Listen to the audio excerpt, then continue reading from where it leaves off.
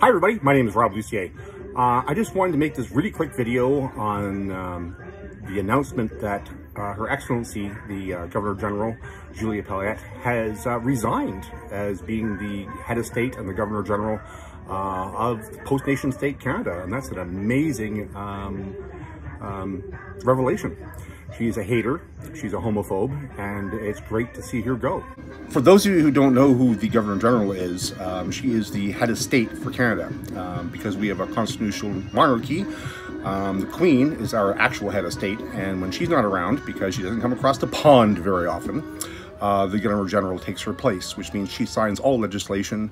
Um, and as a matter of fact, just last April, with the stroke of her pen, she outlawed uh, assault weapons in Canada because that's the uh, the kind of power she actually has, as well as she's commander in chief of the Canadian Armed Forces. Um, as such, she is charged with the welfare and uh, the well-being of the members of the Canadian Armed Forces as uh, as being the commander in chief.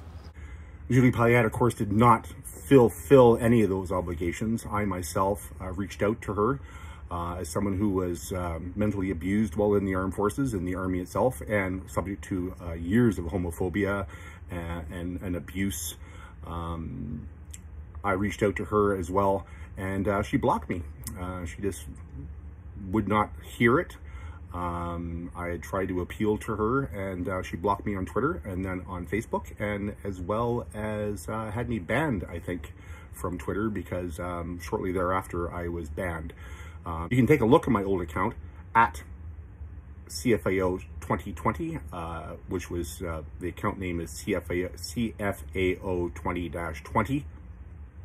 So Julie Payette never really fulfilled her role, I don't think, as Commander-in-Chief of the Armed Forces. Um, I don't think she thinks of the people in the military of a high regard at all. Um, she's a hateful individual, and I'm really glad to see that uh, that she's resigned. I would have preferred that she would have been fired and dragged out of her office by the RCMP in chains. Um, but unfortunately, she resigned, which means she probably will be able to keep all her perks, which means her $150,000 uh, of staff and travel and uh, and her her pension for life, which is 100 percent.